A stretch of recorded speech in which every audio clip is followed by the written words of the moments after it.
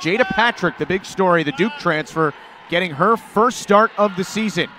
Kitty Henderson knocks down the three, 31% from behind the arc, and they're five points, and she hasn't even bothered to touch the rim yet.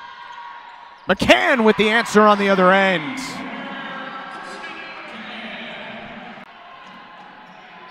Skip pass for Henderson, and she connects. Entry feed for Cade. Astrom for the lead. Got it. Just moving more on their motion, on their offense.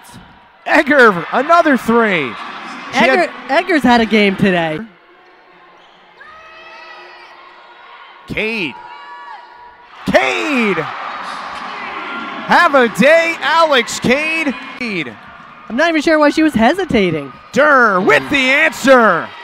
Oh, back and forth we go. Handling the basketball for the Lions. Trying to get going. She's just three for 10. Make it four for 11. She ties the game at 39. Durr. Patrick left wide open. Connects for three. Hsu left open for three. And a huge shot for Abbey Hsu. Largest lead of the game for Columbia. Swat there by Emsbo. And Davis will pull it out. Hsu open three. Got it. 16 for Abbey Hsu. Another day in the office for her, huh? Egger. Oh, what a big shot. Five point game.